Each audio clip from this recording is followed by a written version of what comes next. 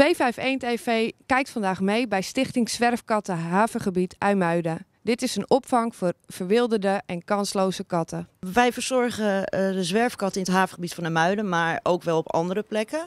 Dat houdt in dat we ze castreren en bijvoeren. Ehm, de dieren die uh, het buiten niet redden, uh, die meer zorg nodig hebben, uh, kittens, zwangere poesen, zieke of gewonde katten en andere onplaatsbare katten, vangen we hierop in Velsen Noord in onze opvang. Die lopen hier ook allemaal rond? Ja, die lopen gewoon lekker los. we hebben in principe niks in kooien. De stichting is, heb ik vernomen, voor een 24-uur dienst. Met wie werken jullie? Uh, we werken alleen met vrijwilligers. Ik zelf ben ook op vrijwillige basis. De, de, opvang staat achter mijn huis. Vandaar dat ik ze ook 24 uur in de gaten kan houden. Ja, en dat moet ook wel. Want als je kleine kittens hebt die de fles moeten krijgen, ben je gewoon om de twee uur aan de bak. En het zijn alleen maar zwerfkatten? Over het algemeen wel, maar het, niet alleen zwerfkatten. Het zijn ook katten vanuit andere organisaties of vanuit asiels die niet plaatsbaar zijn omdat ze incontinent zijn of heel erg schuw zijn.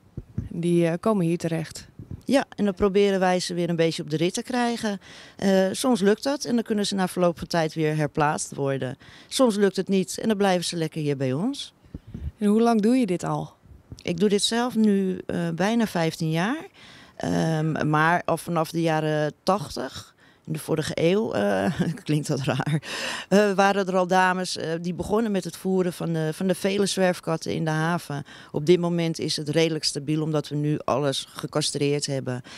Toen was er natuurlijk ook nog veel vis te vinden. Dat is er nu niet meer, want dat denkt iedereen altijd. Van nou, we dumpen mijn katten in de haven, want daar vinden ze wel eten. Ja, dat is dus helemaal niet zo. Nee. De vis wordt nou op zee gemaakt? Ja, wordt op zee verwerkt en verpakt, komt diepgevroren aan wal.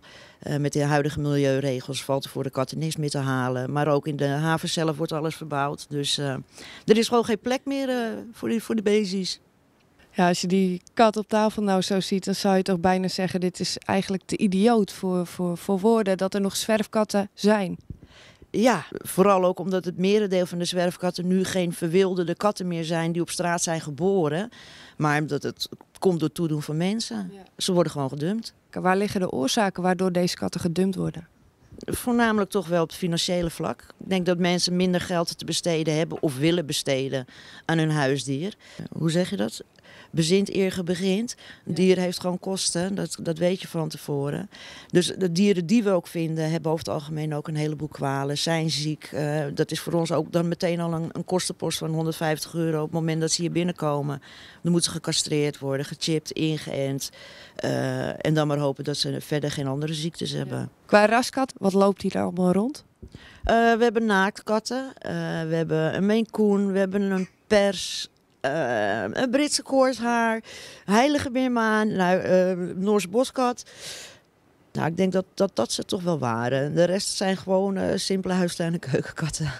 En die moeten natuurlijk allemaal voer hebben, drinken, water, dokterskosten. Hoe kom je daar allemaal aan? Wij zijn geheel afhankelijk van donateurs, dus van giften. Ja. Krijgen geen subsidies. Ehm, ja, en dat is zeker de dierenartskosten en de voerkosten zijn natuurlijk hoog. Ja. Maar ook om, uh, om de stichting te professionaliseren en dan met name de opvang. Dus er is altijd ja, geld nodig. Wat gebeurt er met deze katten als ze niet geholpen worden? Dan uh, gaan ze eigenlijk uh, een, een heel vervelend lot tegemoet. Uh, zwerfkatten worden op straat zonder hulp, meestal niet ouder dan een jaar of drie.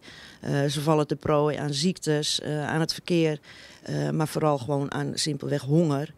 Uh, zeker de kleintjes die gaan het niet overleven. En dat kan heel lang duren voordat ze uiteindelijk sterven. Uh, ze worden ook overal verjaagd. Uh, zeker katten die niet gecastreerd zijn, die planten zich enorm snel voort. Dus in plaats van twee katten heb je binnen een jaar heb je er gewoon 50 lopen.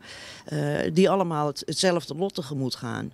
Nou, dat proberen we natuurlijk te voorkomen, want geen enkel dier of levend wezen verdient dat. Ze hebben allemaal liefde en affectie en eten en drinken nodig.